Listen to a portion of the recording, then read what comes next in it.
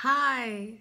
You know, maybe you're in a position right now where you are wondering if you should really pursue nursing. And I want to encourage you today to pursue it, to go after this, even if it's hard.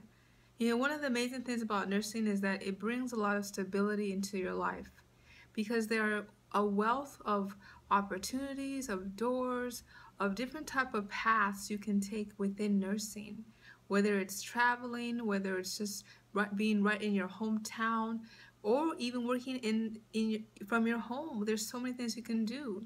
And the other thing about nursing is that it keeps you human.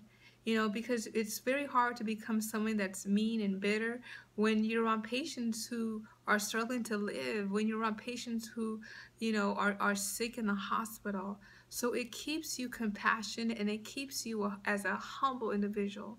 So I want to encourage you, pursue nursing. Keep going, no matter how difficult it may be. Thank you again for watching. All right, bye-bye.